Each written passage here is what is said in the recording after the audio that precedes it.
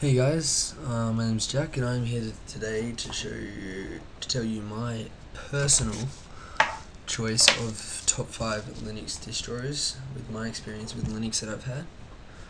Well, let's jump straight into it and this is in no particular order and my first one is Zorin OS.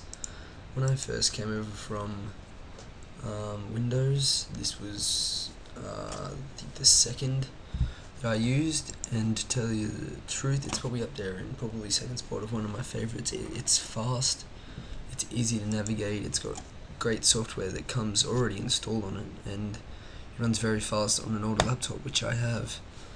Um, it's very easy to install, it's easy to find um, support on things that you need, and all probably the thing I, I like most about it is um, just its look and the way, just its overall design. Take a look at the tour.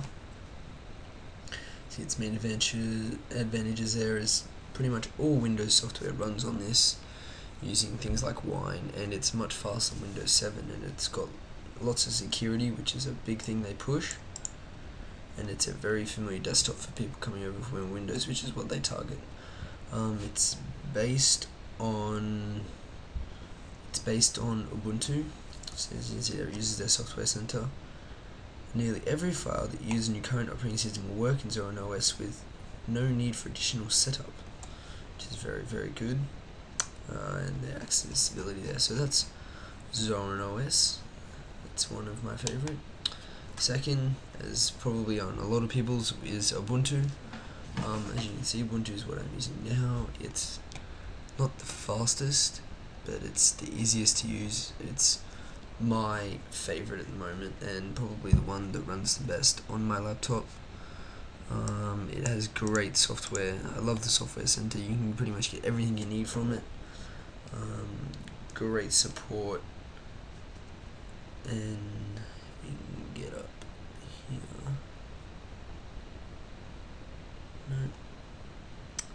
Um, yeah, and pretty much every app that I've needed to use on Ubuntu has been there in the software center ready to use. Um, this also includes pretty much every other version like Xubuntu and Lubuntu and Kubuntu. I've pretty much tried them all, um, but this had have to be the best one that I've used.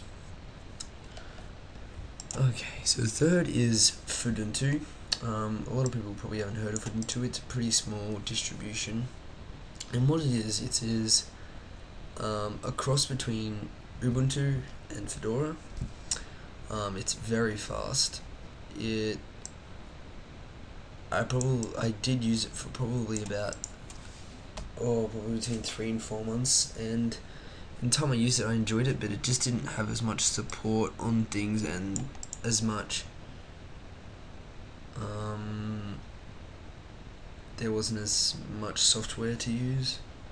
Um, as you can see, it does it doesn't come with like Firefox like it normally would on like Ubuntu or something. It comes with Chromium and came with VLC, so that was an added bonus as well. But it's a great, great distro, but just wasn't for me. But I still loved it. And fourth on our list is of course Fedora. Um, great great distro. You used it for about um, I think it was like six or seven months. As you can see, you need a 64-bit processor, gig of RAM, and 10 gig storage. And it is really just a great distro to use overall.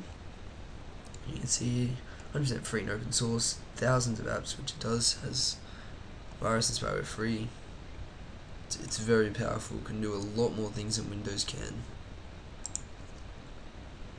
collaborating features. It comes with evolution. Um, pretty much everything you need for the internet.